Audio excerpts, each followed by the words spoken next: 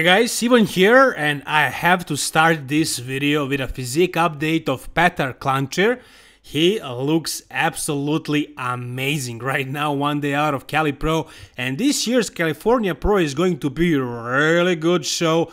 It is a really competitive, like the entire top 6 is very close, those are all great bodybuilders. I think it's going to be more interesting, more exciting than Indy Pro or New York.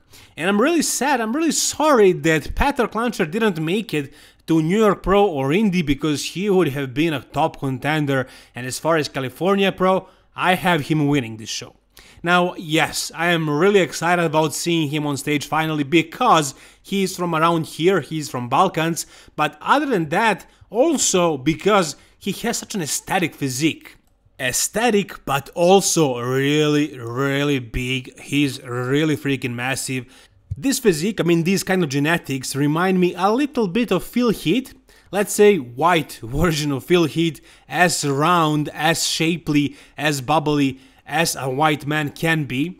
You know, Phil Heath is way too 3D, way too bubbly, but if, if Petar had a little bit more triceps, maybe a little bit more uh, shoulder, rear shoulder pop, and maybe a little bit more round legs, he would be there in the ballpark. So he does have that crazy shape, crazy roundness, and also like he is really wide, really big. Um, he looks like he's six foot three or something, but he's not. He just has really good proportions, and his head is really small compared to the rest of his body body.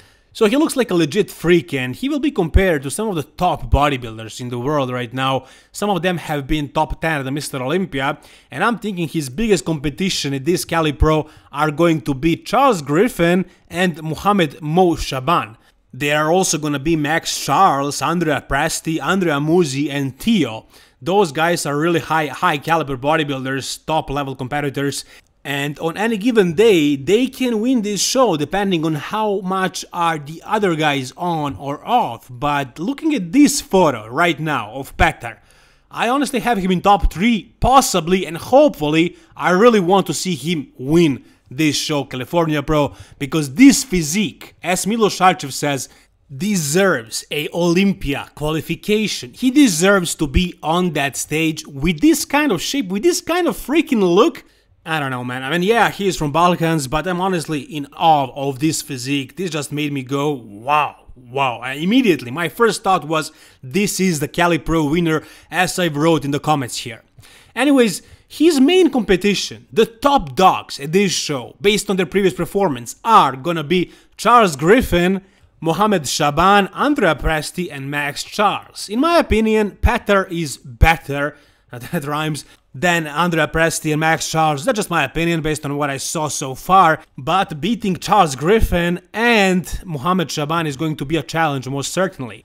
Oh yeah, I gotta tell you guys, Old School Labs just came out with a new flavor of vintage brawn. This is obviously a protein powder, but not simply just whey protein powder. It is also beef isolate and egg white protein. So basically it's like a whole meal, but it is in powder form. It tastes amazing. So guys, if you wanna try out the new flavor banana milkshake, use the link in the description of this video and use the code IVAN for a 12% discount. If you wanna support me and my channel, try it out. Now take a look at this comparison right here of Charles Griffen against Petar and uh, tell me what you see. Well, basically what you're gonna see is the big difference in shape.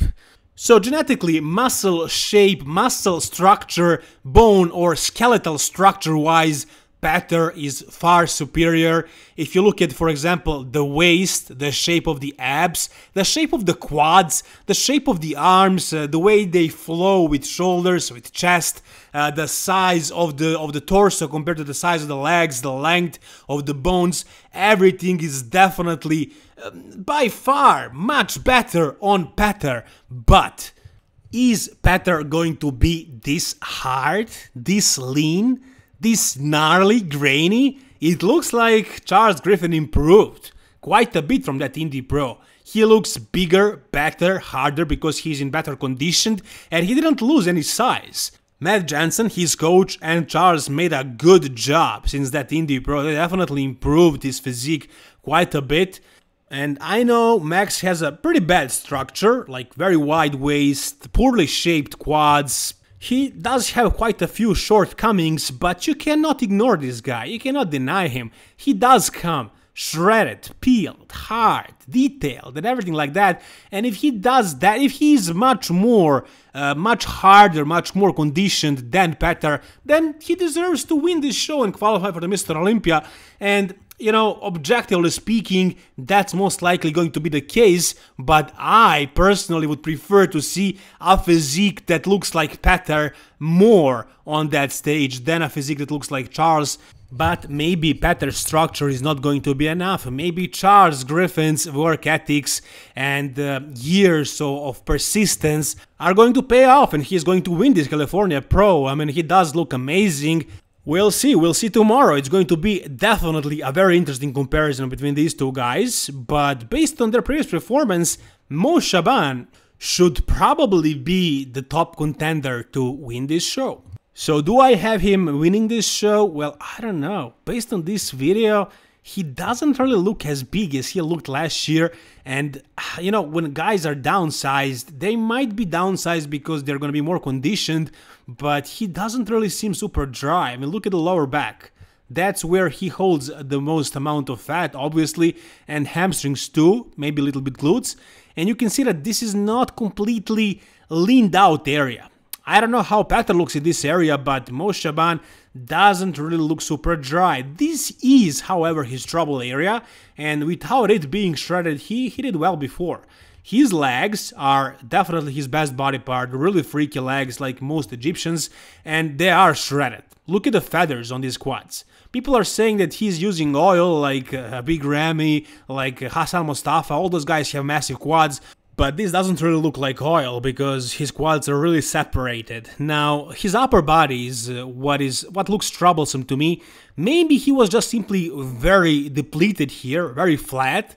And uh, when you have really dominant legs like this, when he pumps them up, even when he doesn't pump them up, when he is walking around simply or eating a certain amount of carbs, those legs draw the, the most glycogen, the most blood and so his upper body looks uh, flat, depleted, and when he's fully carved up, it's going to look bigger. And when he carves up, also, when his muscle is finally full and it stretches the skin and he is completely dehydrated, maybe his back is going to look drier as well. But, I mean, does he look like he's in shape? He looks like he's in decent shape. This guy is a former Olympian. I believe he competed at Mr. Olympia in 2018. Correct me if I'm wrong, but he won multiple pro shows. So he's probably the top dog here uh, along with Charles Griffen. But honestly, I really hope Petar is going to come through and make this his breakthrough show or breakthrough year. But even top 3 at this show is going to be a crazy result and it's going to put him up there on the map. By the way, this guy is a vegetarian. He doesn't eat meat, he eats fish and dairy, but he doesn't eat meat. And for a while there, he was a vegan. So he, he probably would look even better if he didn't have that period and if he was eating meat. I don't know, maybe not, but uh, it is what it is. I mean, he looks amazing right now, and uh, I can't wait to see him on stage.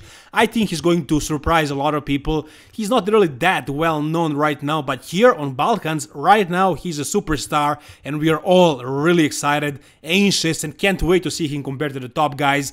And hopefully he will qualify because, as Milo says, he deserves to be on Mr. Olympia stage. Alright, next we have Phil Heath, and I'm seriously wondering what are his plans. Until this day, nobody has an idea, and what we can see on his social media is that he keeps improving.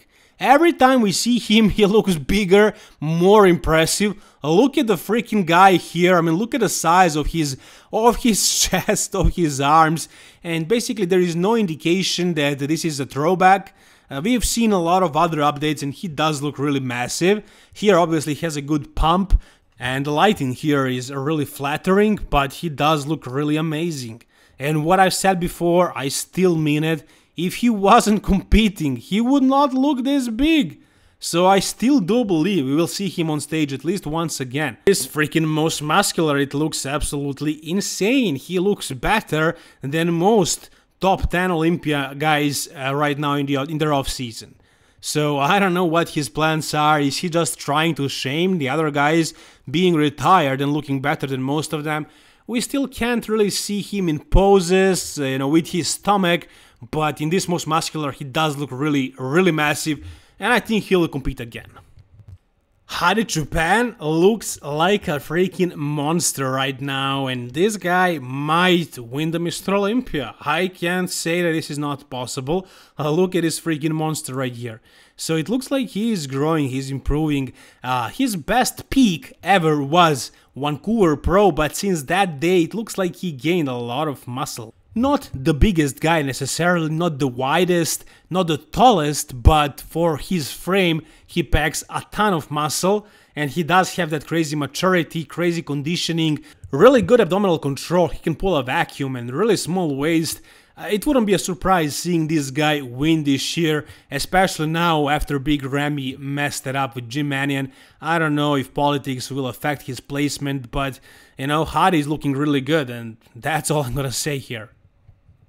Since we are speaking about the guys who are not competing exactly this weekend, not necessarily active bodybuilders, I'm gonna have to mention Justin Rodriguez, because this guy, you know, he's not gonna be doing California Pro, Puerto Rico Pro, Orlando, whatever. He is gonna have a pause right now. He will stop competing for a while. As you guys probably heard already, Justin Rodriguez stopped working with AJ Sims I think uh, after Indy Pro, before New York, somewhere around that time, and uh, him and AJ Sims they brought together some really good packages like last year and even this year at, at Arnold. Let's say at Boston, his Boston Pro edition was really good, but they messed it up completely for Indy and New York, and maybe that maybe Justin was not happy with that, and he stopped working with AJ Sims.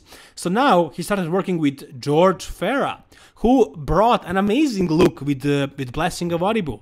So when I saw when I when Blessing won and he showed up like that, I said Blessing proved to us that he's a high caliber bodybuilder, but also George Farah proved to us that he's still a very high caliber coach. And apparently, guys are already starting to work with him. Justin Rodriguez just started working with George Farah.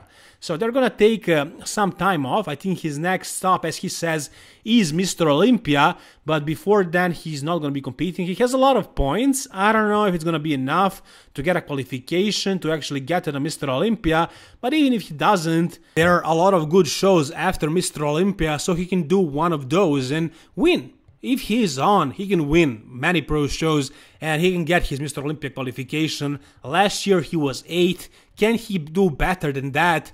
I don't know. It's look it looks like his physique is on a down path. I'm not sure. Maybe he's gonna improve. We'll see next year or later this year. Anyways, guys, that's gonna do it for this video. If you enjoyed this video, guys, give it a thumbs up. And for more bodybuilding videos like this, subscribe to my channel, guys. Thank you so much for watching. All the best and bye bye.